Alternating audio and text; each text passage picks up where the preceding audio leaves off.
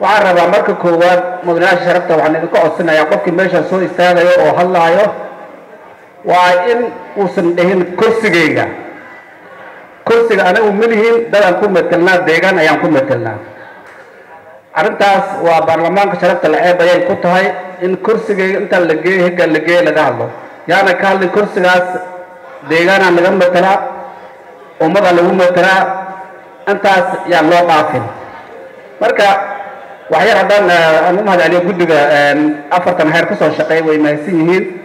Howlo fara badan ayaa loo qob ay soo qobteen inta badan waxaan filayaa aseenta kuraasaha in oo xalliisan tahay.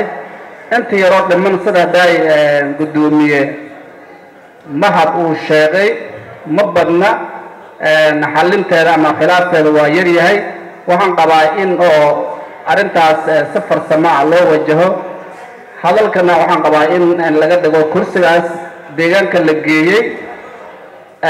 Mi ma degan yihiin dadka ay ka mateli lahaa ama deegaankaas dadkii mateli lahaa.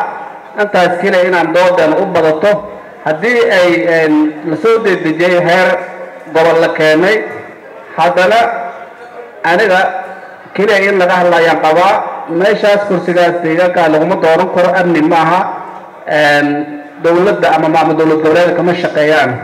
Marka dood in intaas loo dhigo waa soo degdegtay laakiin awalba aseenta waxaa iska lahaa guddiga doorashada madax bannaan wixii maadaama aniga aan soo qaadanay haddana kursigay kursigay badnaa lagu daayo ceeb ayay noqon tahay waa mahadsantii